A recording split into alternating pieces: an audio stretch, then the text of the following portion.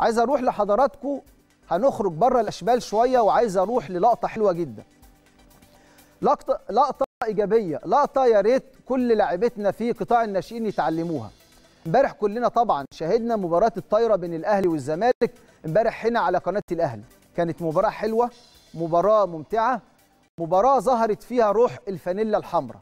شفنا ما شاء الله يعني الكرة الطايرة رجال النادي الأهلي لعيبة ورجالة يعني بمعنى الكلمة.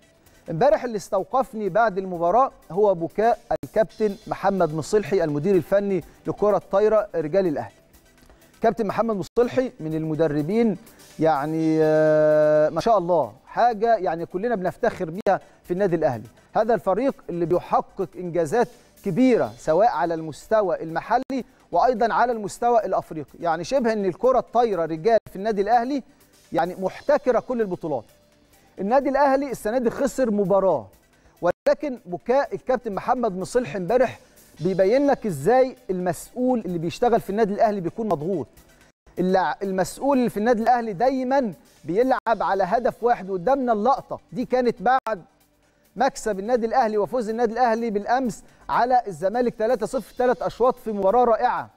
شفنا مش عايز أسمي لعيبة امبارح لكن كل لعيبة النادي الأهلي كانوا رجاله ده بيبين لك إن المسؤول في النادي الأهلي دايما بيعمل على إن النادي الأهلي رقم واحد. النادي الأهلي بيلعب على كل البطولات. النادي الأهلي دايما بيلعب على شيء واحد بس هو المكسب. أتمنى اللقطة دي والرسالة دي توصل لكل المسؤولين في النادي الأهلي. في كل الألعاب حتى داخل قطاع الناشئين بالنادي الأهلي. علشان كده أنا حبيت أستعرض مع حضراتكم اللقطة دي. لقطة مهمة جدا جدا جدا.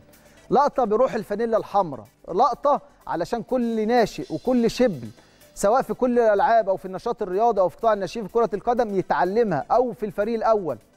دايما بنلعب على المكسب دايما النادي الأهلي رقم واحد دايما روح الفانيلا الحمراء. فإحنا هنا تحية كبيرة للكابتن محمد مصلحي وبنقول لك شابوه وكمان تحية لرجال آه، الكرة الطايرة وكل التوفيق ليكم خلال الفترة المقبلة.